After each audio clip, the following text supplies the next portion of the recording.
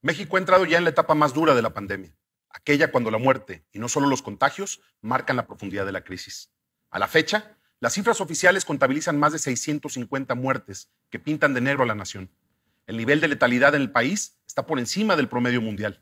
Los datos de los últimos días hablan por sí solos. Domingo 23 muertos, lunes 36, martes 74, este sábado 104 en un solo día. Las muertes se cuentan ya por decenas y llenan de dolor a cada rincón de la República. Nadie es ajeno a esta realidad.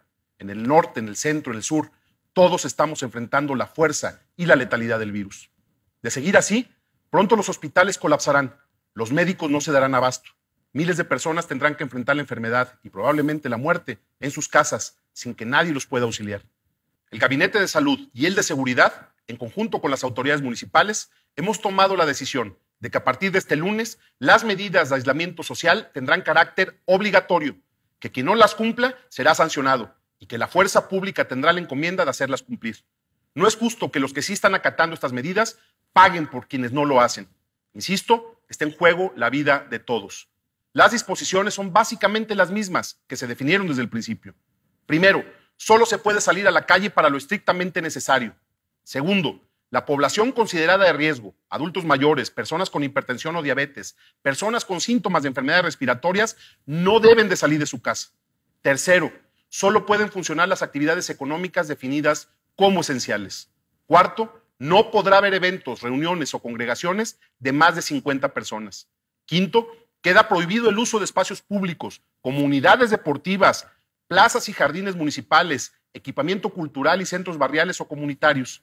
Sexto, deberán guardarse en todo momento las medidas de salubridad y de sana distancia que todos conocemos.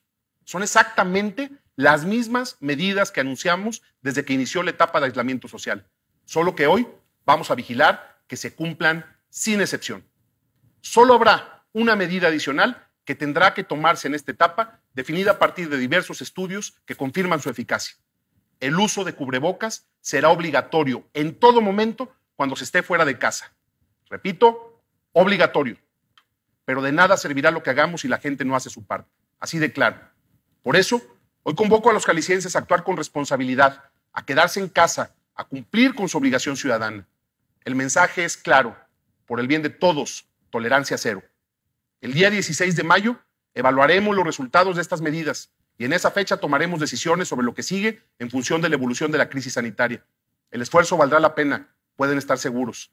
Las medidas que hoy anunciamos nos van a ayudar también a salir más rápido de esta crisis.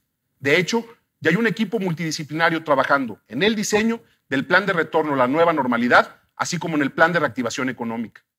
Todos estamos cansados. Sabemos lo que esto está generando en nuestra economía. Somos conscientes que hay gente que está sufriendo y nos vamos a concentrar en ayudarlos. No los vamos a dejar solos. A todos los que han resistido este largo mes en sus casas, gracias de todo corazón. A los que no lo han hecho, les digo que están a tiempo de corregir y evitar que el daño sea irreparable. Viene el apretón final. Podemos salvar muchas vidas. Vamos poniendo todo lo que está a nuestro alcance. Hagámoslo juntos, solidarios, firmes. Jalisco no se raja.